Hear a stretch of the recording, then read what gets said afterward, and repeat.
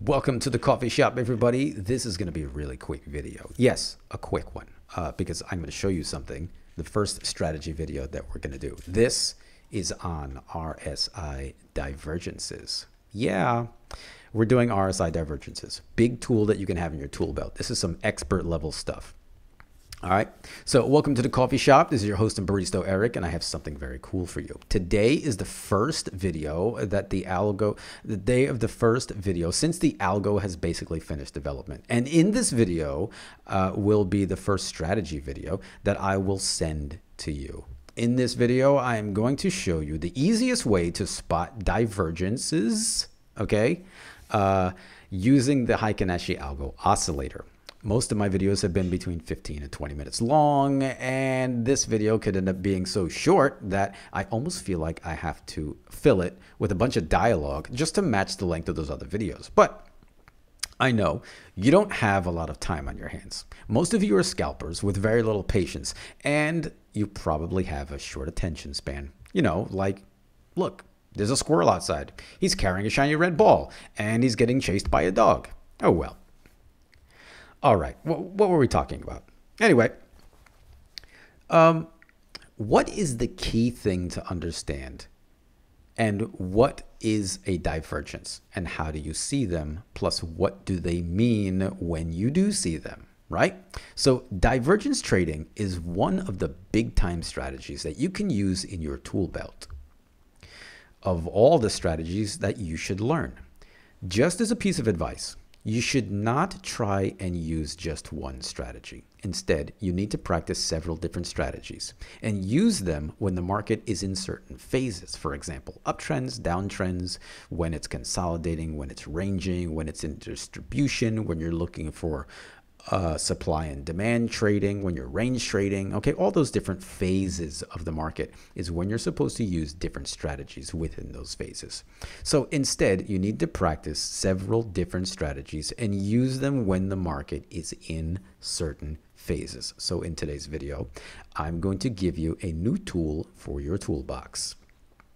Using the Heikin Ashi algo oscillator, it's really, really, really easy to spot divergences. I put an extra really in there because it's really easy. So let's do the thing, shall we? Go to your indicators, type in Heikin, oh, I always spell it wrong, H-E-I-K-E-N, Ashi algo, and it's there in the community scripts, Heikin Ashi algo by Coffee Shop Crypto click it once and hit that little star, add it to your favorites, and make sure it's on your chart. You should be good to go from the uh, default settings.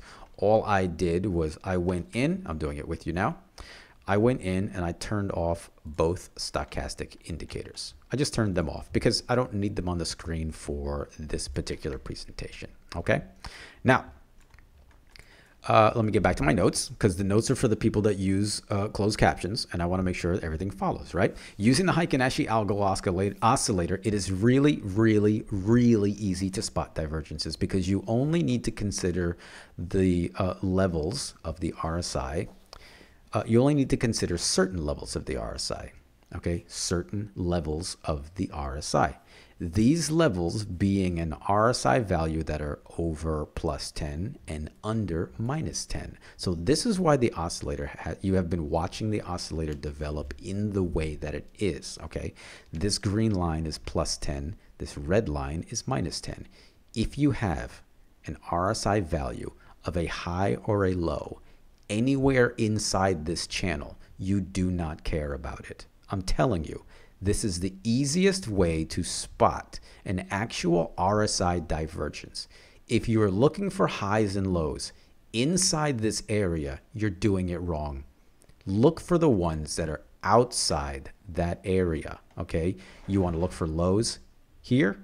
You want to look for highs here. That's it. That's where you look for your lows and your highs. Let me get back to my notes. Hang on. When you have an RSI value outside of that channel, outside of that mid channel, uh, those are the only RSI values that you should take into consideration when looking for highs or lows.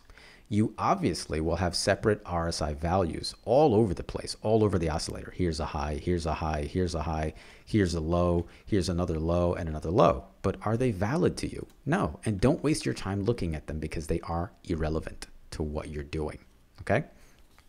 So, enough with the technical reasons why and the visual representation of what you should be looking for. You got that now. You are 9 out of 10 the way there. You are 90% there. That's all you needed to know, though.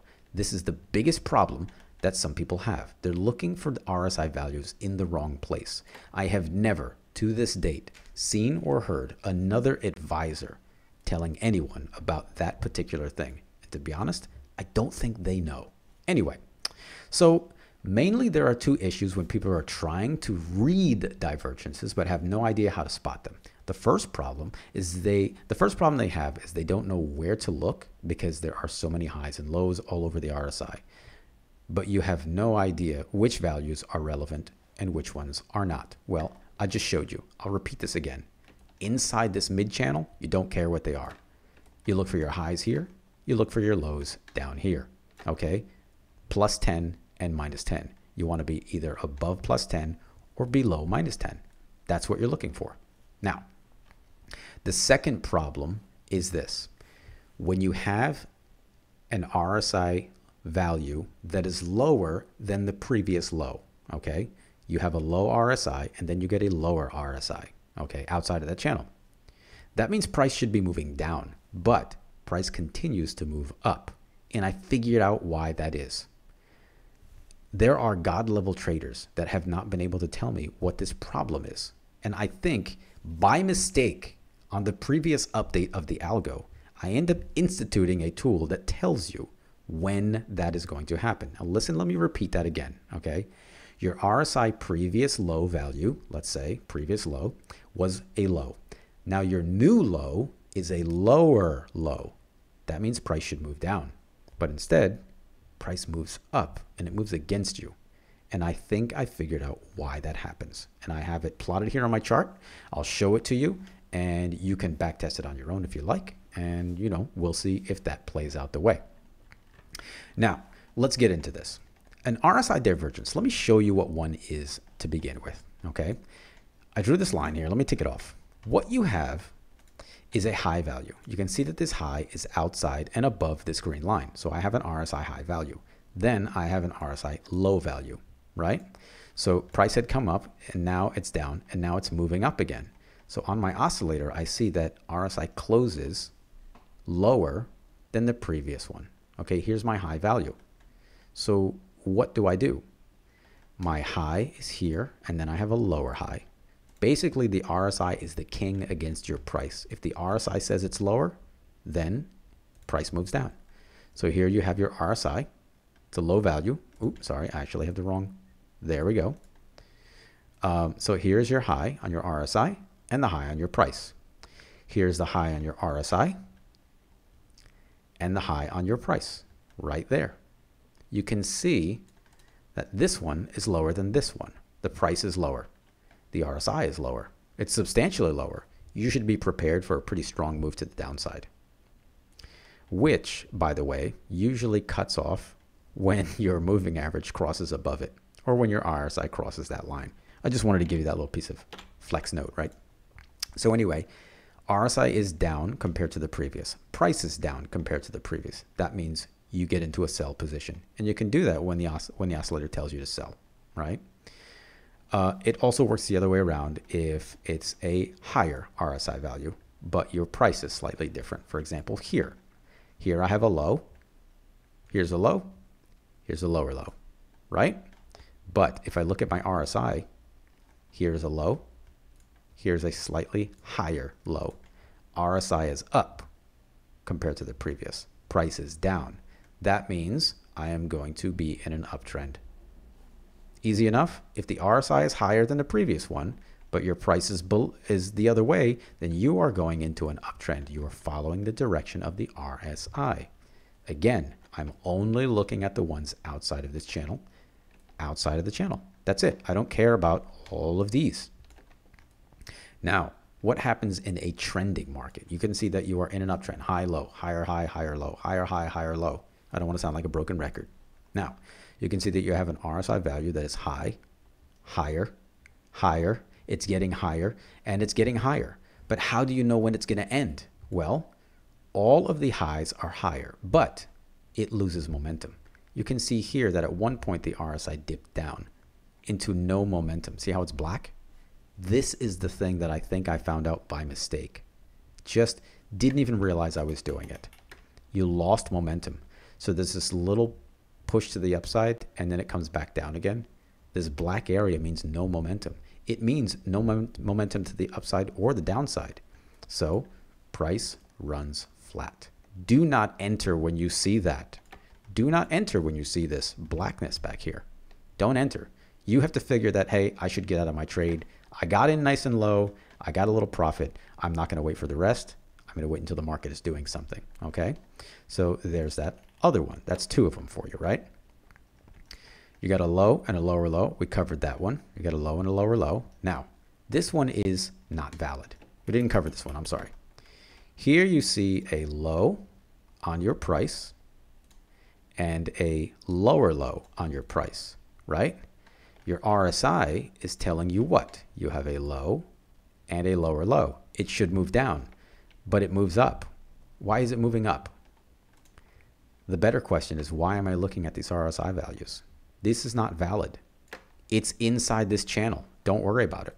Okay? This, not valid. Bye-bye. I don't care about those. Doesn't matter. That is a range. You don't care about that. Now, here I have a high on my RSI and a higher high, but it moves against me. See, I have a high and then a higher high, but then it moves against me. Why is it doing that? As the RSI comes down, goes back inside the range, and I have a loss in momentum. Do not enter. You should just get out. You are in a trade. You got some profit. Get out. Now, here's another one. This, well, I basically covered this already. I'm going to cover it again real quick. Here you have a high outside of your range. Okay, you have a high and a higher high. Here you have a high. This is the high of your RSI right there. And you have a higher high in your price. So price is moving up, RSI is moving up, right? But no momentum. It immediately changes positions. As soon as the RSI comes down, you look in here and you see this is black section right there. You can see it. Okay? That's telling you loss of momentum and price shoots down. Last one I'm going to show you because they are very far apart and this is important to see. So you have a low, you have a low, but it's inside the range. You have the next low outside the range and it is slightly down. This is why this one became invalid. You have a low and a lower low. They are far apart from each other, but they are still outside the range. You have a, this is that same low and the other low is here. This low is higher. You can clearly see that the RSI is pointing down. The RSI value is lower. So do not enter because price is what? Moving down until it reaches a point of change. Something has to tell it that it's over. You have a massive loss of all momentum to the downside. Look at the oscillator. No momentum to the downside. No momentum to the downside. It's slightly changing to green. You have momentum to the upside. You have a high and a higher high. Okay. What else do you need to know? Like, really, what else do you need to know? All right. There is obviously more to it than that. There's a lot more to it than that, but I wanted to give you these just quick little uh, instances to help you narrow down and be able to practice looking at RSIs, okay, and RSI divergences. So eventually, I would like to create the script that will draw the lines for you, but I think that's going to be too much stuff. So uh, let's just get into teaching you guys how to look at price action. Okay, so RSI divergences. This was a quick video. I want you to just rewind it, go back to the beginning, play it again because I'm ending it right here. Thanks, people.